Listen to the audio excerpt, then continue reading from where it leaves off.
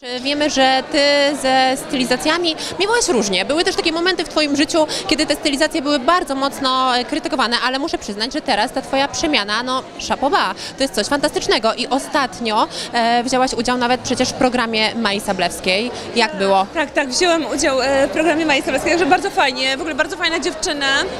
Em, muszę przyznać, że tylko raz, raz oglądałam ten program, bo powtórek było dosyć, e, dosyć tam więcej. Natomiast tylko raz oglądałam i to też nie w całości, bo dosłownie przybiegłam w ogóle na, na, na e, ostatni moment, że tak powiem, ale bardzo mi się podobało w ogóle, a współpraca na planie cudowna.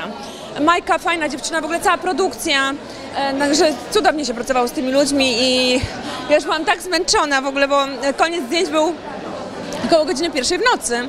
I ja miałam wtedy piosenkę, śpiewałam e, swój singiel na Kobiece Świat i powiem szczerze, że tak opadałam z sił, wszyscy się ze mnie śmiali.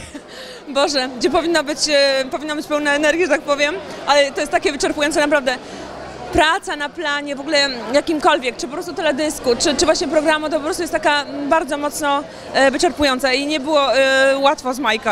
Nie było łatwo z Majką, bo walczyłyśmy o włosy. Podcięłam trochę, dla mnie dużo, dla niej, dla niej to było tylko trochę.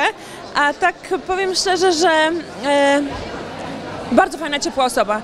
I powiem szczerze, że żałuję, że nie pracujesz jako menadżer, bo uważam, że takich menadżerów brakuje w Polsce.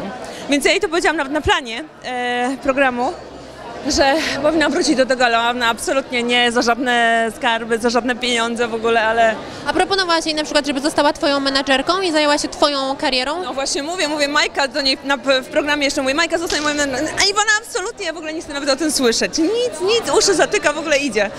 Ja się wcale też nie dziwię. E, bo pracowała e, z artystami, gdzie na pewno no, nie była to łatwa praca, więc podejrzewam, że to takie trochę wypalenie e, już w tym biznesie u niej stało. Natomiast cieszę się, że się spełnia jako stylistka, bo powiedziała, że w tym się czuje najlepiej, że szukała całe życie, że tak powiem, siebie i w końcu znalazła. Znalazła swój sposób na, na to, żeby być.